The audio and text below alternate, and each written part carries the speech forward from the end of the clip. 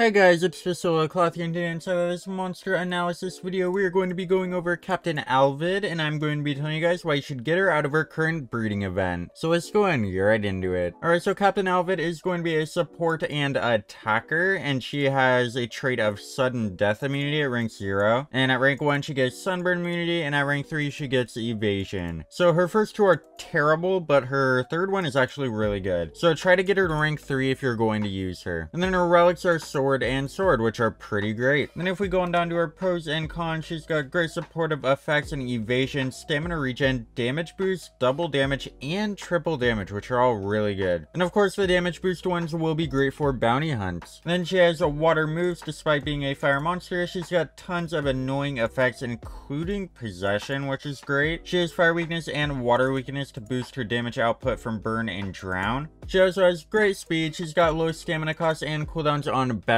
moves. She has insane status caster and diverse move pool. And of course the status caster means her evasion. And then her cons are a horrible trait besides status caster, which is very true. She also has terrible life and power, which is kind of true. And she has bad relic slots, which honestly I don't think that's really true. Sword and sword are pretty good. And no negative effect removal, which is kind of a problem. And then if we go on down to her moves, we're going to look at her support moves first. She has a team triple damage, which is amazing. She also has an ally double damage with evasion, which can be be great for bounty hunts, and so can the triple damage actually. Just has a team damage boost with precision and stamina regen, and she has a possession and poison. So honestly, the best use of this monster is of course bounty hunts, as I keep saying. She is very, very good for bounty hunts. She can work in PvP as well, but she is definitely meant for bounty hunts. And then her attacker skill set is going to be a fire weakness zero cooldown, which is pretty good. Also a fire weakness burn, a water weakness drown, and this one right here, which is the possession possession and poison. And instead of the zero cooldown fire weakness move, you could always use either the triple damage or double damage move. And yeah, those are her best moves. So yeah, I do think that the attacker one is better if you're not going to use her in a bounty hunt. But if you want to use her in a bounty hunt, definitely go ahead and use the support move set. And then get two other attackers with better moves. And yeah, then you can go ahead and boost your teammates a bunch with all these damage boost moves. So let me know down in the comments if you end up getting this monster out of her current breeding event. I will see you guys in the next one. Over to like, share, and subscribe. Goodbye.